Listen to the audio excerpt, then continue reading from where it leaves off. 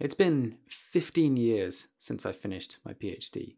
So today I'd just like to take a look back and talk about how getting a PhD changed my life, but also in some ways it really didn't.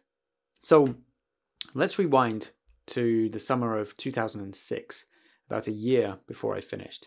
Now, I've told this story many times before, but basically, I had a breakdown.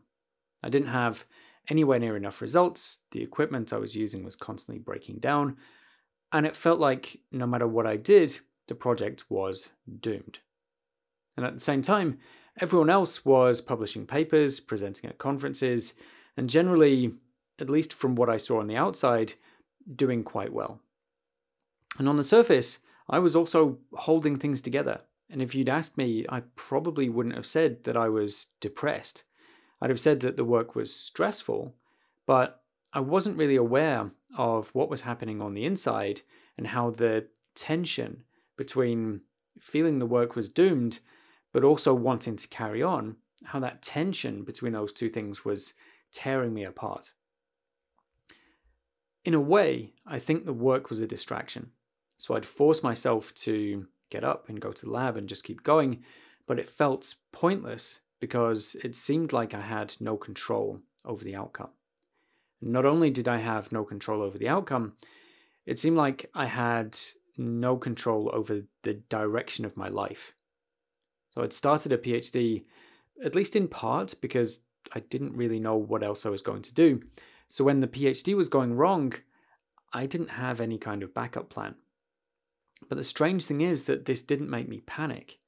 Instead, I became detached still going through the motions of work, but disengaged from the project and completely numb to the stress. But the stress was still there, and it was starting to affect other areas of my life. Perhaps the biggest thing was that my relationship fell apart, but there were all kinds of other things going wrong as I had this kind of undirected, desperate, destructive energy that I wasn't even aware of. And ultimately, this led to my breakdown. So all these different things crashed together, and I was basically forced to stop, face the reality of what was happening, and change the way that I thought about and approached the work. Now, if you want to know what I did, then check out my video on the three habits that saved my PhD, which I'll also link to at the end. But basically, I managed to turn it around. I managed to calm myself down, and by being more careful and engaged in the work, I got the results I needed. And then when I had to write my thesis, it wasn't just that I did the right things practically, I was in a really good place mentally. And I actually enjoyed the writing process, finishing my thesis in just three months and then passing my Viva with zero corrections. I even got back together with the girlfriend that I'd broken up with a year before. So there's a happy ending to the story. Except getting a PhD isn't an endpoint, it's just a milestone. I was 26 when I finished, and it's not like I got the PhD and then everything was great. So I found a postdoc position within a few months of finishing, but due to admin delays, it was nearly a year before I actually started, and during most of that time, I was working in a bar for minimum wage. The high that I'd felt during writing and after finishing, that wore off pretty quickly.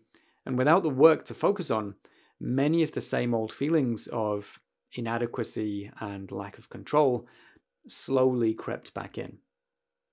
Now, I got through that year, I survived, but I was not in a good state for much of it. And the postdoc, when it finally arrived, this was kind of the perfect job.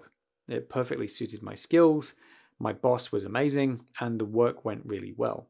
It was also in a really beautiful city in the French Alps, and I had an apartment with panoramic views of the mountains. But here's the problem it's easy to focus on fixing external circumstances or achieving external goals with the implicit expectation that this is what will make us happy. But it doesn't matter what you achieve, and it doesn't matter what you have. If you're not happy with yourself, then anything on the outside is really just a distraction. So, um, the path that I took in terms of doing a PhD, going down the academic route, and doing postdocs, it opened up opportunities that I wouldn't otherwise have had, including the opportunity to live abroad, which was life changing. But getting a PhD, getting the perfect postdoc, getting an amazing apartment, opening up the world, it didn't really fix anything. And since then, even though I've been able to be productive and achieve some reasonably impressive things and help other people to achieve their goals, I haven't been able to reliably reproduce and maintain that same headspace, the same sense of inner peace that I had when I was writing my thesis. And I've often felt like I just need to find the right challenge to bring out that same mindset, the same focus, the same confidence. But I've only recently realized that I've been approaching it the wrong way round. So I've spent the last decade helping students develop practical skills like writing or working with academic literature or general project management or time management. But having these skills and knowing what to do isn't always enough because it's your inner state that determines the kind of energy, focus, and confidence that you can bring to the task, or even whether you can do the task at all. And beyond work, your inner state affects how you experience, interpret, and react to everything, often in ways we aren't even aware of. So, instead of working harder and harder to achieve external goals, with this implicit assumption that success will make us happy, we should work on our inner state first and approach our goals from a place of calm and positivity and self love. When I was at the end of my PhD, it was almost as if I stumbled upon this kind of healthy mindset by accident through the right circumstances, the right events at the right time. But I think it is possible to cultivate that kind of state through conscious effort. Now, this is not an easy task because life is complicated and we're all carrying a lifetime of past experiences, beliefs, and habits that affect how we think and feel and behave. So it takes time and it takes work, and some of it can be quite difficult to deal with. But if your inner state affects every aspect of your life and work, surely it's got to be a priority. So, what I'd like to do with my blog and with this channel is to start exploring this idea in a little bit more depth. How to cultivate that healthy mindset first and then bring it to bear on the tasks and challenges that you face. So I'll relate it mainly to PhD work because that's my area of expertise, but ultimately, fundamentally, I think it's about how to live a happy life. So, if this is something that you're interested in, hit subscribe if you haven't already, and also head over to my website at phd.academy and sign up for the email list so I can let you know when I release new videos.